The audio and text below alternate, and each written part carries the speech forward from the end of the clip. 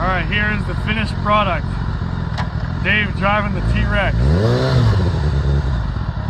Wheels, lights, everything.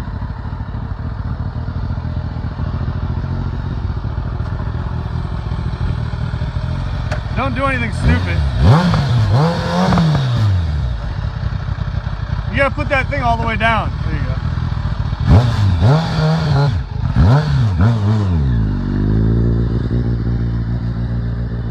Ah!